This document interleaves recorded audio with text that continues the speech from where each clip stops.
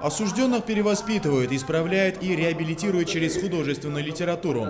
ВИЧ 167 дробь 3, более известную в Шимкенте как 31-я зона, сегодня даже пригласили писателей и поэтов. Обладатель международной награды Алла Ширкинбек Турысов, историк Мамбек Абдиакимула, писатель-фантаст Исаак Сармамбаев демонстрируют ораторские способности.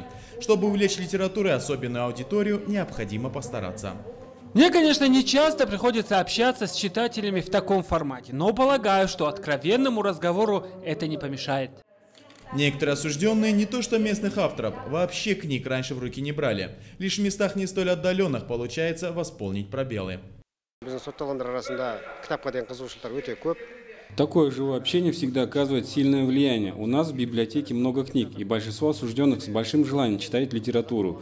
Очень интересно открыть для себя новые миры, мысли. А когда есть возможность еще и для разговора с автором, то эффект многократно усиливается. Я с большим интересом буду читать книги, подаренные нашими гостями. Наряду с местными авторами областная библиотека Утрар организовала для заключенных выставку книг. В них читатели за высокими тюремными стенами прочтут об успехах и достижениях Казахстана за годы независимости. Это делается в целях обеспечения прав осужденных на доступ к библиотечному фонду и информированию.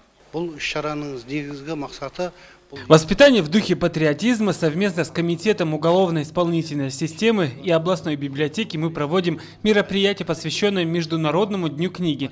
Эту инициативу поддержали поэты и писатели нашей области, охотно согласившиеся на встречу с лицами, отбывающими наказание. Надеюсь, что и для осужденных этот разговор будет полезен и интересен. Гости пришли в Ича не с пустыми руками. Литераторы подарили библиотеке колонии свои книги.